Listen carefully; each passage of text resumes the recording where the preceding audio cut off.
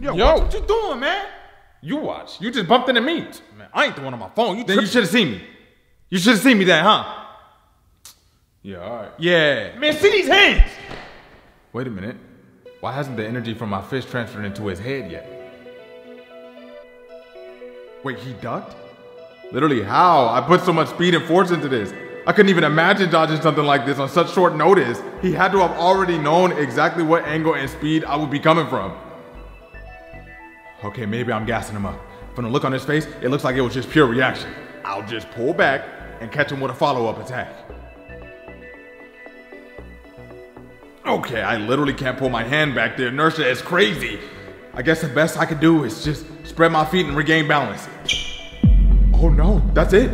I've never swung this hard before. My body wasn't prepared, and now I'm gonna fall on my back. And when I do, he's gonna hit me. He's gonna hit me with the meanest whiff punish in human history, and I'm gonna die. you look stupid. Get out my face, man. I was wrong. Stupid. This is worse than a whiff punish. My pride